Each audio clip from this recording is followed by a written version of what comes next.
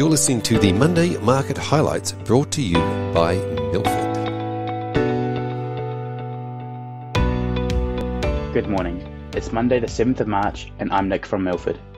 Globally, focus remains on the incredibly unfortunate war occurring in Eastern Europe, with escalating tensions continuing to have major implications for commodities and, in particular, global energy markets. The Bloomberg Commodity Index was up 11% over the week, the most since its inception in 1960.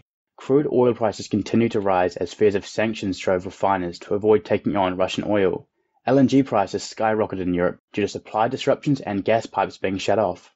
There were also nuclear concerns late in the week as Ukraine's largest nuclear power plant was set on fire during a Russian attack. Prices for wider commodities such as palladium and aluminium also rocketed with global sanctions being the catalyst.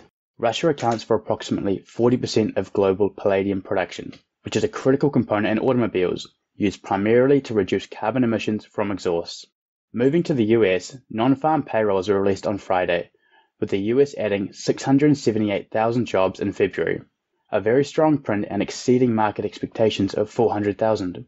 The unemployment rate compressed to 3.8% versus 3.9% expected. This job growth was widespread, however, unsurprisingly was led by services sectors such as leisure and hospitality. The US ISM services data was also out last week falling for the third month in a row to 56.5, down from 59.9 in January. The disappointing reading was well below consensus of 61 and pointed to the slowest growth in the service sector in a year. As a reminder, when this index is above 50, it still means index components are expanding, just at a slower rate than the prior month. Continuing in the US, Fed Chair Jerome Powell made clear during his congressional testimony on Wednesday that the US economy no longer needs such accommodative monetary policy and that he was inclined to support a 25 basis point hike at the mid March meeting. Powell confirmed he is willing to do whatever it takes to protect price stability, i.e., keep a lid on inflation. However, he also acknowledged the uncertainty that the war in Ukraine creates for monetary policy and noted that the Fed will have to be nimble. Moving to Australia, on Tuesday, the RBA hosted their monthly monetary policy decision. This turned out to be a bit of a non event, and no changes were announced. The focus remains on the March quarter CPI print to be released in April.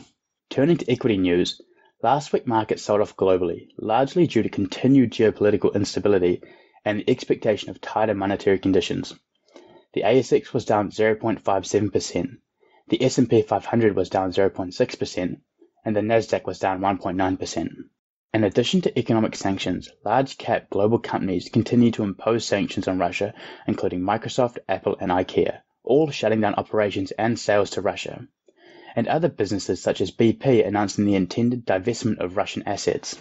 Locally, equity news was relatively light last week as reporting season draws to a close. An interesting development was IGO's decision to walk away from a proposed deal to buy Glencore's CSA copper mine in New South Wales. The stock proceeded to trade strongly on the back of this news, rallying 6.7% on the day and ending the week up 11.5%.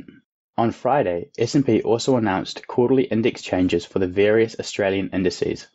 Changes worth noting were the removal of NZ stocks, Spark and SkyCity from the ASX 200.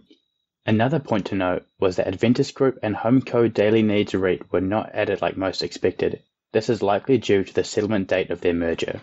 Finally, Block, previously known as Square, who now owns Afterpay, was removed from the ASX 20. Looking to the week ahead, Domestically, we have Westpac consumer confidence out on Wednesday, which would give a good barometer on how consumers perceive their current and future financial positions. Remember, if the index is over 100, it indicates optimism outweighs pessimism. We also have the US CPI print for February out on Friday, and the market anticipates this to continue rising.